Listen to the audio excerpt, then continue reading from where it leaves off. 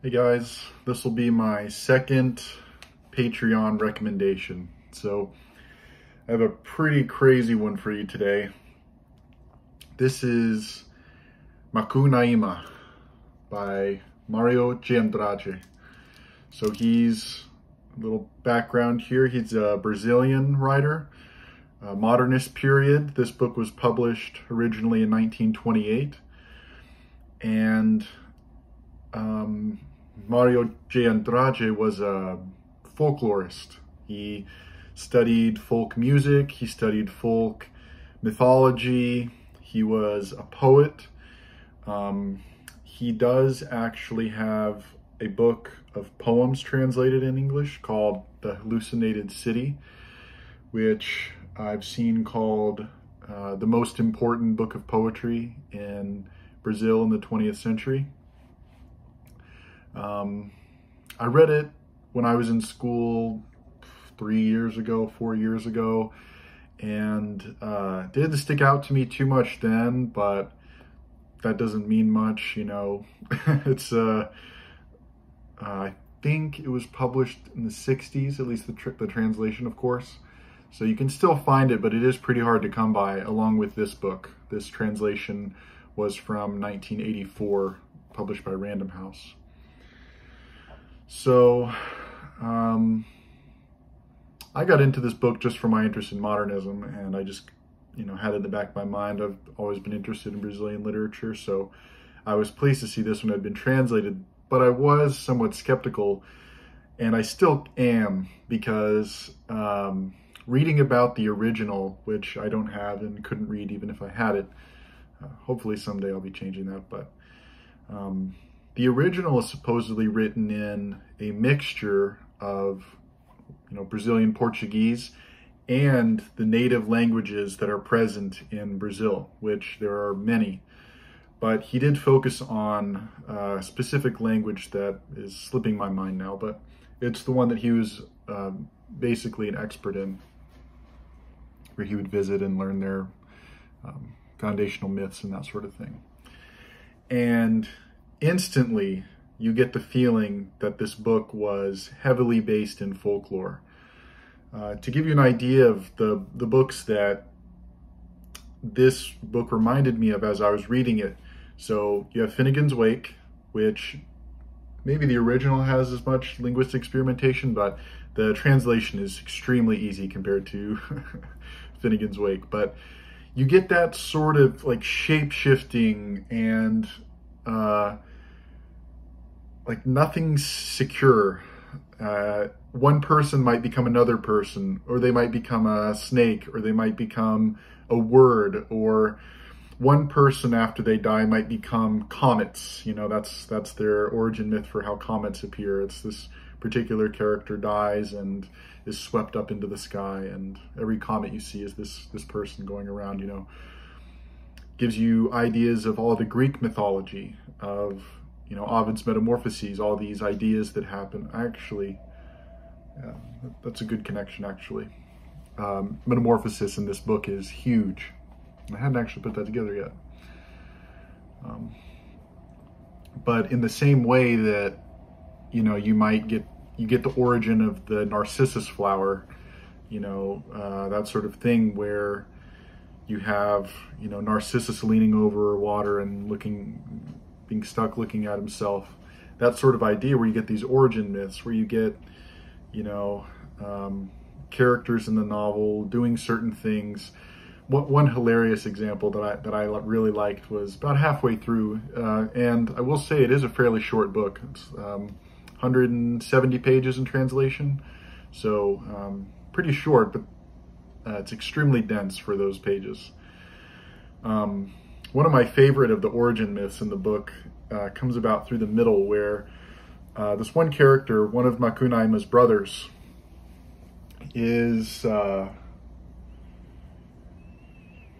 the plot of the book is basically they're going back from Sao Paulo to the jungle, and it's like this thing where Macunaíma is a, really lazy, really cowardly. Every time he gets into a fight, which he gets into fights often because uh, he has sex with people in the same way that people in a Shakespeare tragedy kill themselves or you know poison themselves. It's It's like, oh, oh, there he goes. You know, he killed himself.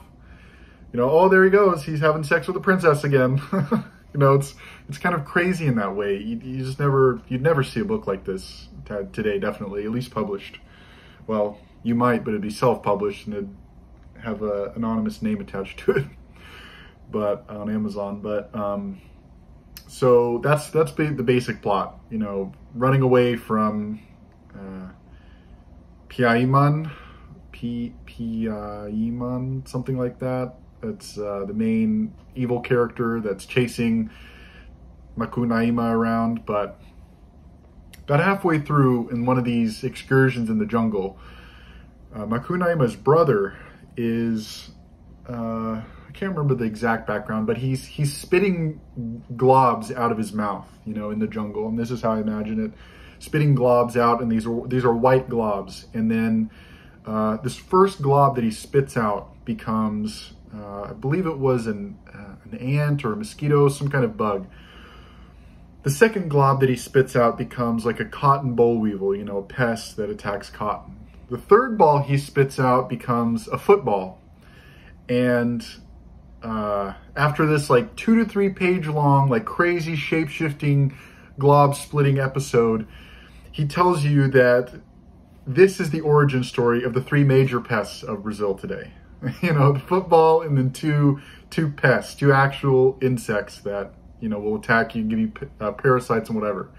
I, I just was like, oh my gosh, you know, you're drawn along two to three pages and you're like, where is this going? What, what, is, what is he trying to do here? And that's the question I was always asking myself with this book. What is he trying to do here? You know, really? And uh, I imagine that if you read it in the original, it'd be more obvious exactly what he was trying to do here, especially if you were an expert in the languages he was an expert in and had some background of the actual mythology. Um, because tying it back to what I was mentioning before, you know, you have the you have Finnegans Wake, which is of course another one of these works that ties together tons of mythologies and mixes tons of languages and is uh, you know supremely anti-fascist. um, you'd think it'd be more well read or more read these days. Uh, joking, but you know, you also get influences of even North American Native American mythology that I'm more familiar with as opposed to South American mythology. I'm not especially well read in, in South American mythology, at least, you know, pre-Columbian mythology especially and pre-contact mythology. But you get these sort of feelings where, you know, Macunaíma is called the hero, uh, but he's the exact opposite of a hero. He's lazy. He never wants to do anything. He always tries to lie to get out of having to do certain chores and certain tasks that are uh, due for a hero. Uh, he runs away from every single fight. I don't think he actually has a fight. And oh, he, he does have a fight, but he loses. Yeah, he has. He does have a fight, and he gets uh, tricked into. Um, going into water that dissolves all of his limbs and uh, loses ears. I think he has one arm, his legs are both gone. No, he has one leg, one leg is gone, arms are ripped off, and then that's how he dies. But of course, he dies for a sentence, and then he's he's up alive again, back to his shenanigans. And uh, I've mentioned most of the main characters. There is another character in here, and the names are pretty hard to figure out the pronunciation. It's C-I, so I was I was assuming it's C.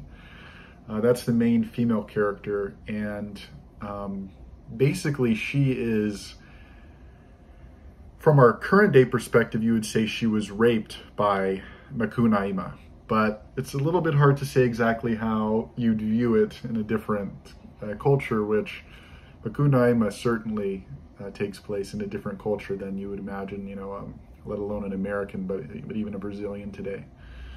Uh, I do have a friend in Brazil who said he read this book, and without footnotes, he said it was almost hopeless to read. So that does make me believe that this translation has been smoothed over quite a lot. Um, you do still get variations where it, gave me also feelings of Ulysses in the sense that one chapter you might have extremely ornate language with words you've never seen before, even in the translation. Mixtures of words, puns, you'll have sentences that are built as poetry where they will internally rhyme at certain points that you can predict when the next rhyme will happen. But then on the other hand, you'll have chapters that are extremely simple or based around dialogue that has that is littered with ellipsis and you can really not make it out as easily. So in that way, it's it's definitely a modernist work. And to finish up my last books that this book reminded me of, I was kind of shocked that I, you know, I don't really buy the idea of magical realism. I think it's kind of cheap. I think it's just like, um, like to an extent, everything but the Victorian era was magical realism. I think, honestly, you know, Shakespeare would be called magical realism if you're being honest with yourself. Uh, Milton, probably you could say, was magical realism. Definitely, when you get to the Middle Ages, you start seeing magical realism. Um, the Greeks were magical realism. And of course, Latin America, you see magical realism. Uh, more contemporary books, of course, that are post magical realism would be called magical realism. Salman Rushdie, whoever else, you know, whatever. And uh, so I don't, I don't, really buy that distinction. But if you would, if you did buy that distinction, you would have to say that Macunaíma is probably one of the first ones that are, that would re reasonably call it magical realist, because it fits all the categories. It's Latin America. It has um, the realist part where you have Sao Paulo. You have people driving around in cars. He mentions um, in the in a part of the, the end of a chapter, he mentions Manuel Bandeira, who is an actual poet of the time. Pretty sure he mentions Raul Bopp and several other actual Brazilian poets of the time, which leads me to uh, thinking of Borges, which um, I, I, imagine Borges would have known of this guy, at least you know heard of him and known known about it, if if not actually have read it. And uh, you know, really, this book is. I'm kind. I'm really surprised that it's not more well known, and partially I think because it had a small print run in '84, and probably not the best translation ever, but um, it's like it's like the keystone for a lot of really popular stuff. You know, Salman Rushdie would fall into this guy's tradition, I think, post post this. Um, all the Latin American boom would, would in some sense, whether explicitly or not, or, or um, you know, implicitly or explicitly be in this tradition of Macunaíma. And it seems to me that really Mario de was the originator of a lot of stuff. And um, yeah, I didn't want to spend too much more longer than 15 minutes was my was my limit on this I wanted to put so uh, I think I'll end it here. I know this review is a little scattered all over but um, this is a crazy book. This is probably the weirdest book I've ever read actually. And I would love to be able to read it in the original and see exactly what he does with the mixture like the mixture of Brazilian Portuguese with the uh, so-called indigenous or native languages and just see how he mixes that because I've just been fascinated with like macaronic literature, which is generally used to refer to like Latin and Italian, but it's been broadened out to mean books written in more than one language or dialect. So I think it'd be fascinating. And then when you tie it into later Brazilian literature, João Guimarães Rosa, you know, Graça and so on. I just think this book is excellent and if you like the type of books I like to read, you like modernism, you like Finnegans Wake, you like magical realism, I think you would really enjoy this, Macunaíma by Mario Andrade. Yeah. Please pardon any of the mispronunciations you see in this video. I can only imagine how many there are, but yeah, I would recommend this highly. Uh, so thanks for watching, and uh, thank you very much for those of you who are uh, generous enough to give me money for uh, these Patreon recommendations and you know to support me in general. Um, there will be more to come like this. So thank you. Death is a gang boss.